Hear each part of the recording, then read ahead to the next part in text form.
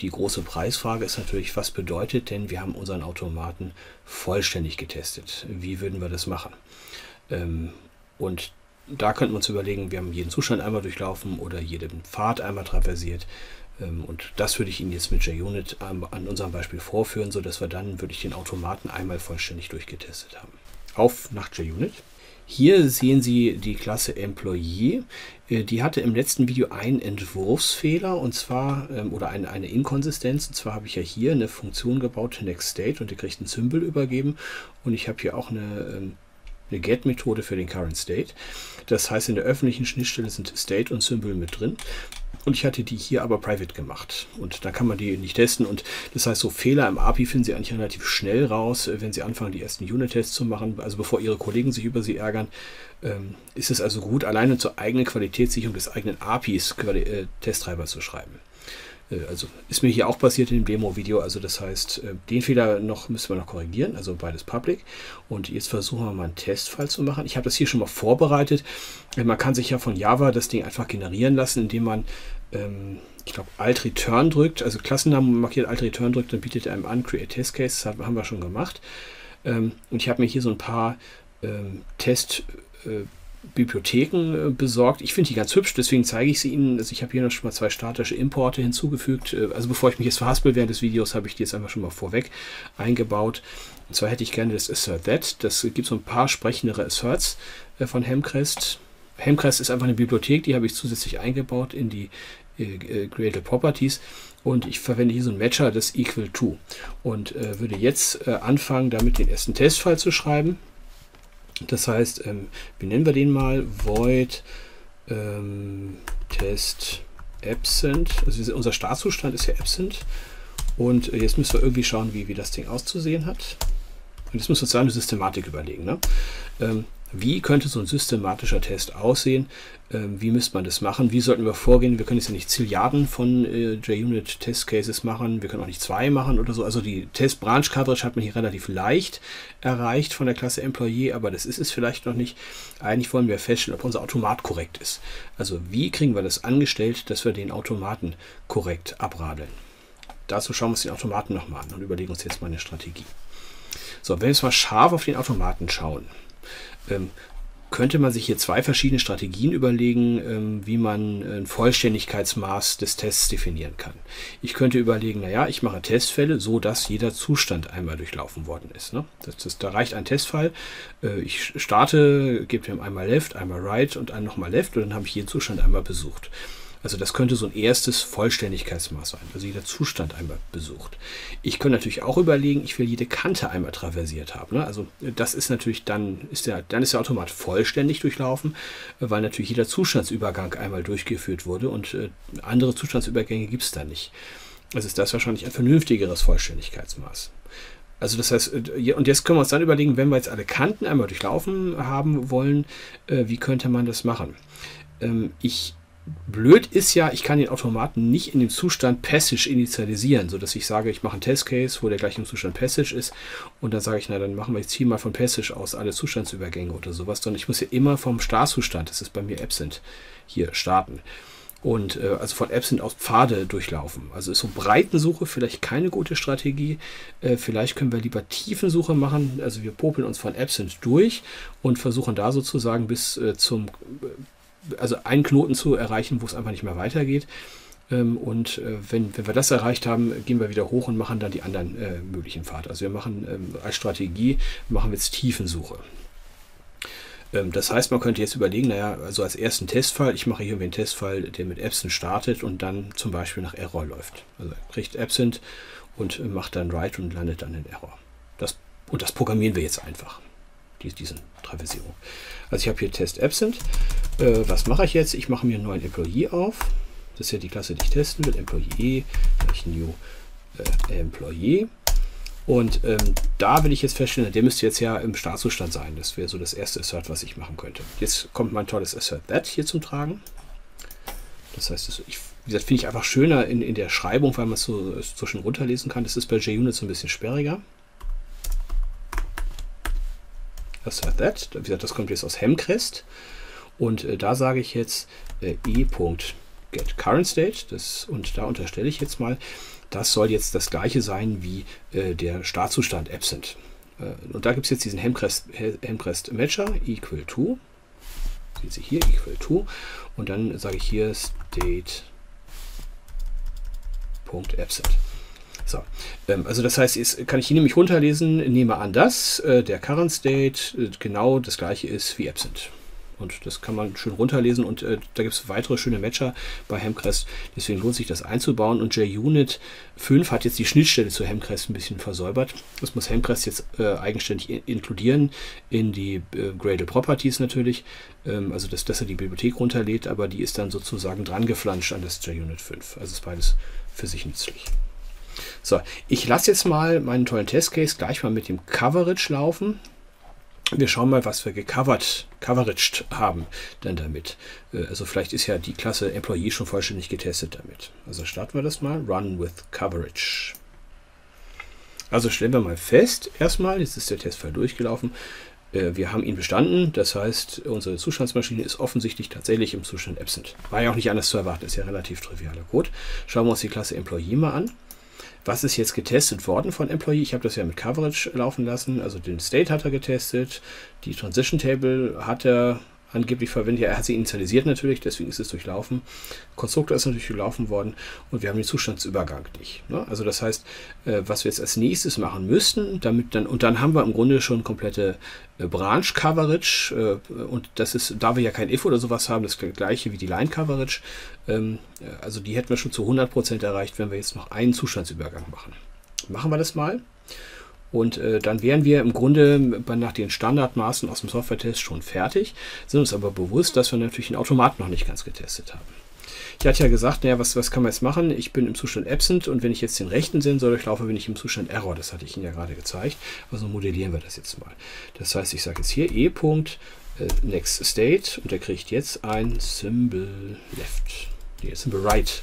Symbol Right übergeben. Und nach unserem Zustandsübergangsmodell müsste der dann im Zustand Error sein.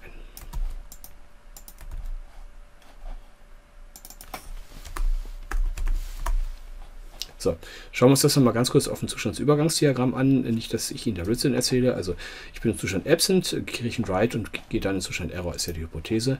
Können wir hier sehen. Absent, kriege einen Write und bin im Error. Sehen Sie hier unten, ne? Error. Und äh, da wir sozusagen ja Tiefensuche machen, ähm, können wir jetzt hier vielleicht auch gleich noch die beiden Sachen mittesten, Left und Right. Und dann haben wir sozusagen einen Pfad bis zur Erschöpfung getestet. Aus Error kommen wir nie wieder raus.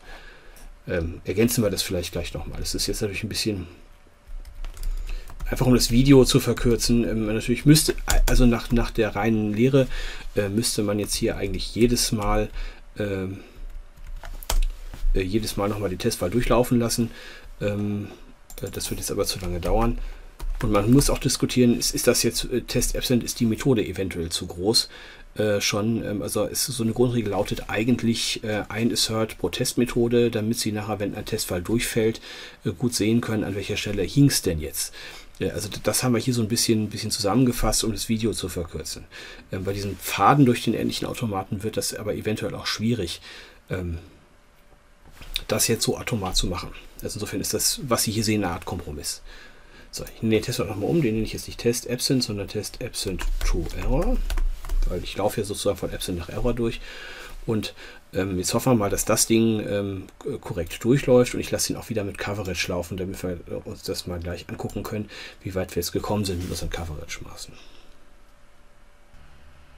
Also getestet hat das. Schauen wir nochmal. Genau, Replace. Schauen wir mal rein. Äh, jetzt sehen wir aber schon, da ich jetzt einen Zustandsübergang gemacht habe, ich scroll mal durch, ist unsere Klasse Employee jetzt vollständig getestet, ist alles grün. Das heißt, also nach der, sagen wir, wenn wir nur nach Coverage-Maßen gehen würden, wären wir jetzt fertig. Aber wenn wir unseren Automaten anschauen, sind wir nicht fertig. Sie sehen ja hier, ich habe ja hier einen ganzen, ganzen Berg nicht getestet. Also ein paar Zustände noch nicht durchlaufen und, und schon gar nicht alle Zustandsübergänge gemacht. Ähm, also das heißt, äh, vielleicht als Lehre, die wir jetzt schon mal vorab ziehen können, also wenn ich jetzt eine 100% Line Coverage habe oder eine 100% Branch Coverage, heißt das noch nicht, dass das gesamte Verhalten getestet ist. Schon gar nicht, dass es verifiziert wurde. Ne? Das, das merken Sie erst an den, an den Asserts. So, jetzt also müssen wir weitermachen. Ne? Jetzt wollen wir den Rest vom Automaten durchlaufen. Jetzt überlegen wir uns hier sozusagen einen zweiten Testfall. Äh, was könnte man tun? Man könnte jetzt von Absent äh, wieder Tiefensuche machen nach Passage, nach Present und äh, dann nach Error. Ähm, dann ähm, haben wir sozusagen da auch wieder alle Pfade durchlaufen. Und auch aus Error kommen wir nicht wieder raus. Äh, das könnte also sozusagen so ein zweiter Testpfad sein. Absent, Passage, Present, Error. Ähm, und dann haben wir einen zweiten Pfad durchlaufen ähm, in der Tiefensuche. Machen wir das mal. Zweiter Testfall. Ich kopiere hier Teile einfach, um, ihn jetzt die, um das, sie jetzt nicht beim Tippen zusehen lassen zu müssen. Äh, das heißt, jetzt machen wir Test Absent to ähm, Present. Machen wir vielleicht mal das zu ähm, äh, to Present to Error und ähm, machen, das, machen jetzt mal die Zustandsübergänge in diese Richtung.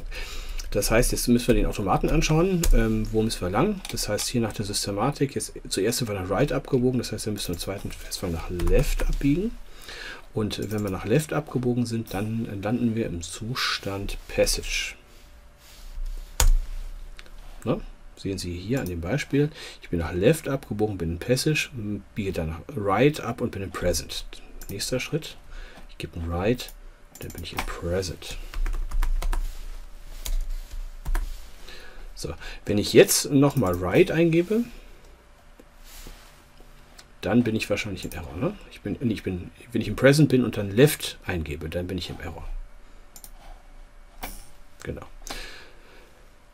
Und schon haben wir den, den zweiten Testfall durch. Jetzt lassen wir das mal wieder laufen. Jetzt ohne Coverage-Maß, also weil wir haben jetzt schon 100% Coverage. Lassen wir die alle Tests mal laufen und hoffen, dass es durchläuft.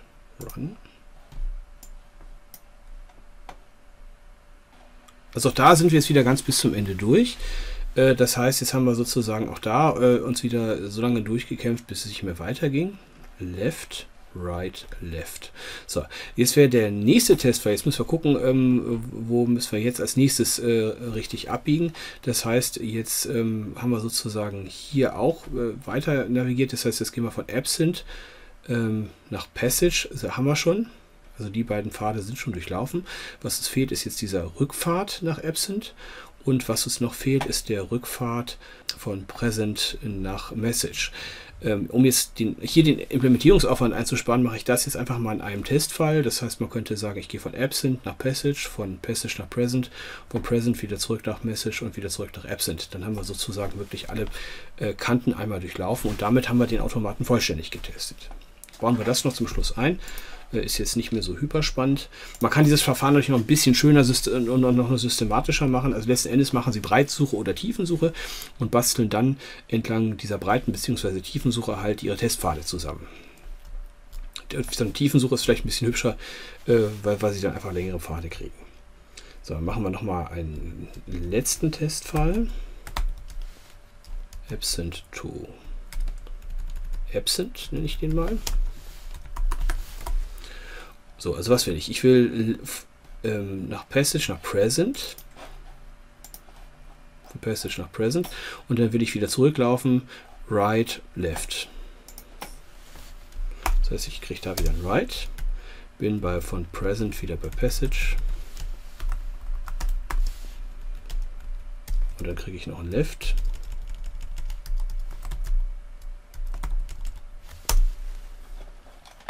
Noch ein Left und dann bin ich wieder in Absent. So. So, jetzt haben wir alle Kanten durchlaufen. Jetzt kann man, äh, ich starte die sicherheitshalber nochmal mit drei Testmethoden, aber das war es dann. Ähm, das, wie man systematisch jetzt mit dem Test endliche Automaten umgeht, äh, lernen Sie ähm, mit Sicherheit in gesonderten Vorlesungen nochmal systematischer, als ich Ihnen das hier zeigen kann. Also wir haben eine Vorlesung sicherheitskritische Systeme, da kommt das sicher vor. Und wir haben im Master eine Veranstaltung nochmal genau zur Softwarequalitätssicherung. Also da erfahren Sie dann alle Details und mehr Systematik, als ich Ihnen jetzt zeigen konnte. Aber Sie sehen, äh, also mein Zeug hat funktioniert. Äh, wir sind jetzt bei 100% Coverage und haben den Automaten jetzt einmal komplett durchgerödelt. Und damit äh, sind wir jetzt ziemlich sicher, dass der auch vollständig und korrekt funktioniert. Vielen Dank für die Aufmerksamkeit bis hierher.